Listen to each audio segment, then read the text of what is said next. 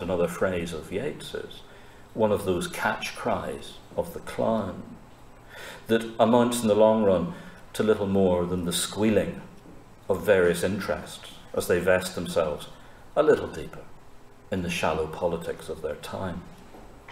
In truth, the humanities were in crisis long ago, a crisis of self belief, in fact, which was most obviously enacted in the advent of so called theory and literature departments in the 1980s. And their heart buckled and failed under the pressure of that dud.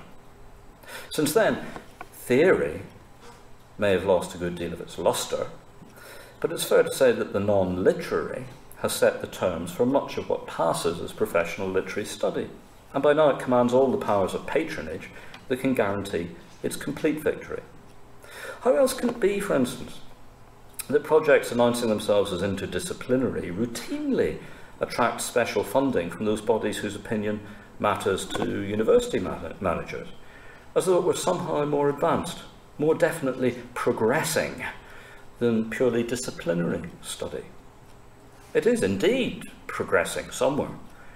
It is progressing decisively away from literary criticism. In the process, it may actually put an end to various purely disciplinary areas. Perhaps this is just as well. For criticism's involvement with academe has never been entirely a happy one, and is in any case not of very long standing in historical terms. Great poetry was written long before there were professors to study it, and there's no reason at all to believe that it requires them in order to happen again in the future.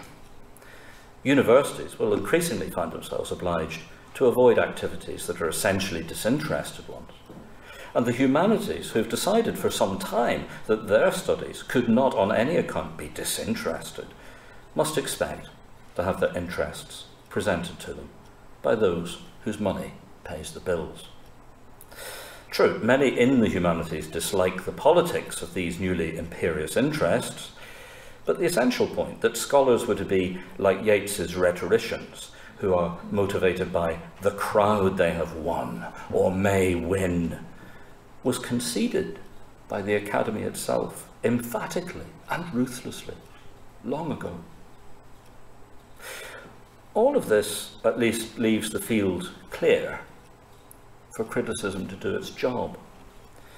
A job not all that different from the description offered by Matthew Arnold in 1869, when he claimed that the task of his book, Culture, Culture and Anarchy, was to recommend it as the great help out of our present difficulties, culture being a pursuit of our total perfection by means of getting to know on all the matters which most concern us the best, which has been thought and said in the world, and through this knowledge turning a stream of fresh and free thought upon our stock notions and habits, which we now follow staunchly but mechanically.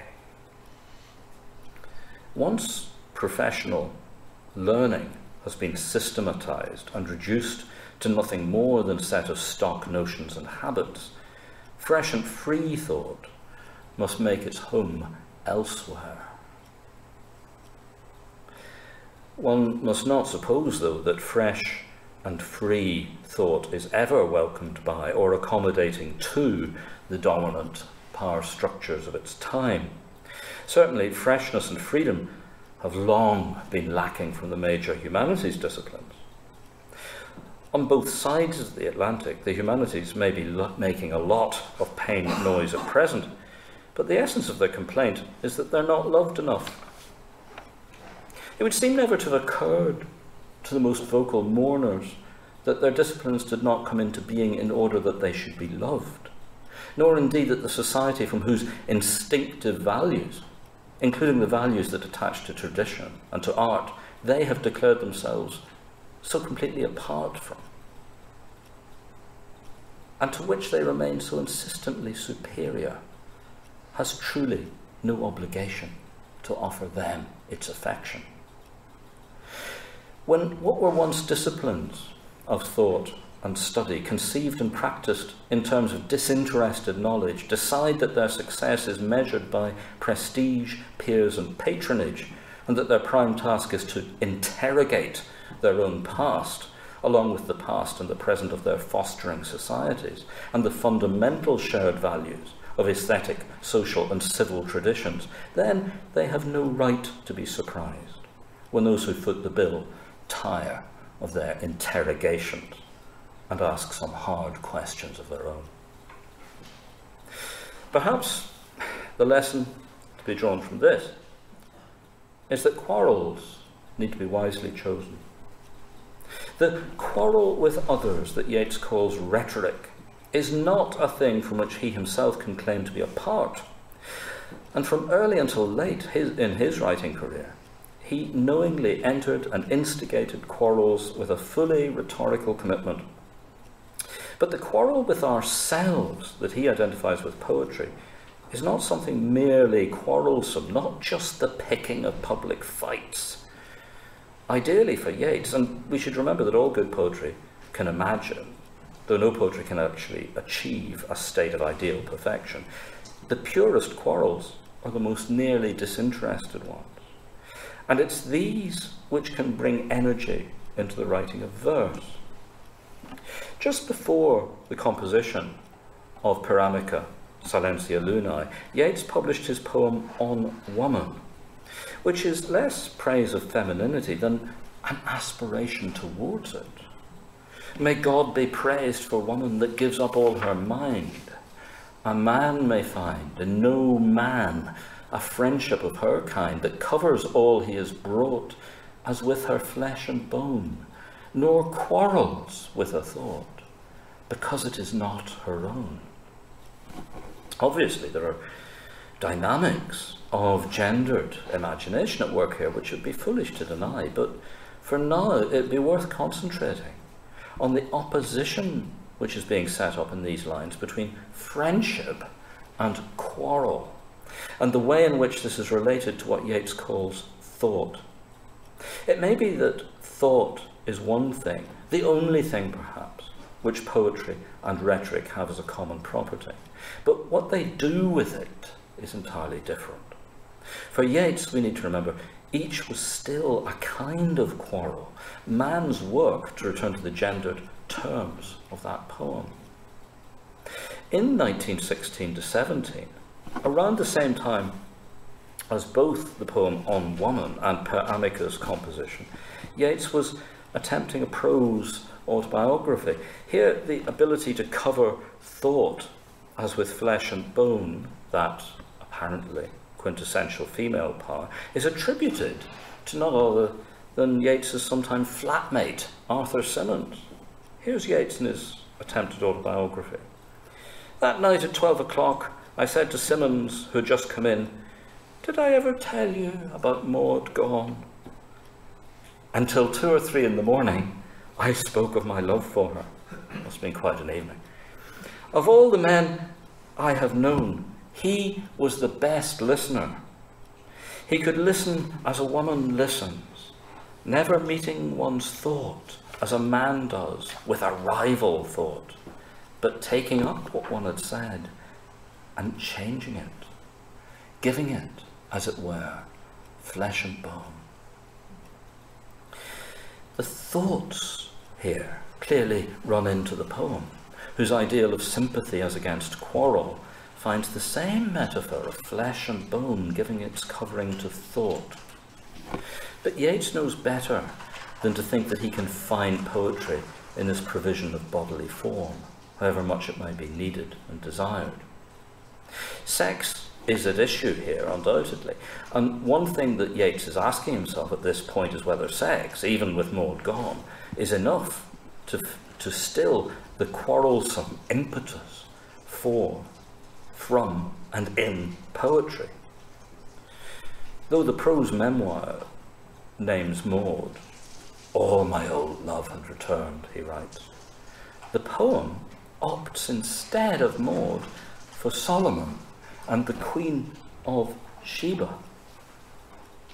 Though pedantry denies, it's plain the Bible means that Solomon grew wise while talking with his queens, yet never could, although they say he counted grass, count all the praises due when Sheba was his lass, when she the iron wrought, or when from the smithy fire it shuddered in the water, harshness of their desire that made them stretch and yawn, pleasure that comes with sleep, shudder that made them one. That shudder, which prefigures the climactic and catastrophic shudder in the loins of Yeats's later poem, *The Leda and the Swan, is also here the shudder in water of newly made iron, a made thing. And Per Amica's remarks on poetry retrace this uncertain border between the erotic and the fabricated with the same word. Remember? Unlike the rhetoricians who get a confident voice from remembering the crowd they have won or may win, we sing amid our uncertainty and smitten even in the presence of the most high beauty by the knowledge of our solitude, our rhythm shudders. One notion which can be taken from this is the idea of made art as something that registers a deep unease along with an unstoppable compulsion in its very making. That is, ourselves would doubtless be happier and more fortunate generally if not in a state of quarrelling. But art requires that quarrel which comes from the profoundest self-confrontation of the art in the artist. And for Yeats, this means that poetry takes the heat of the known self into the coldness of the unknown, which is also the coldness of a made form. In late statements, this has a distinctly rhetorical spin, as though it were by now a brazenly self aware quarrel with others, as perhaps it is. And indeed, in sentences like these from 1937, it seems to be a quarrel with us too.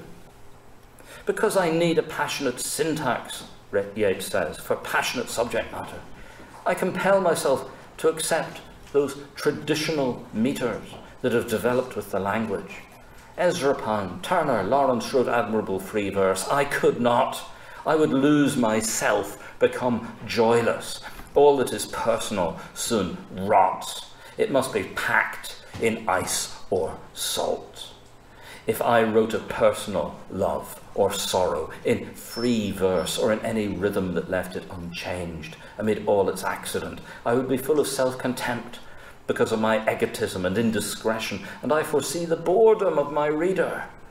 I must choose a traditional stanza. Even what I alter must seem traditional. Talk to me of originality, and I will turn on you with rage. I am a crowd. I am a lonely man. I am nothing. Ancient salt is best packing. With the many things that may be said about this, I will content myself here with just the one. Yeats is utterly, utterly at odds with much of our own received wisdom about both self and form in poetry damning not only the poets and critics who believe that freedom of form equates with a desirable freedom of personal expression, but also those poets and critics who think that form is something simply there to be used, like an item in a toolbox. Today, many poets still think of themselves approvingly as members of a crowd, with politics and cultural correctness on full display. And others still announce themselves as lonely men and women, with their lives and family histories, however humdrum, as all engrossing subjects. Fewer, many fewer, are serious about being nothing. Only Yeats in his time, and only Yeats in ours, can honestly say all three. I am a crowd. I am a lonely man. I'm nothing.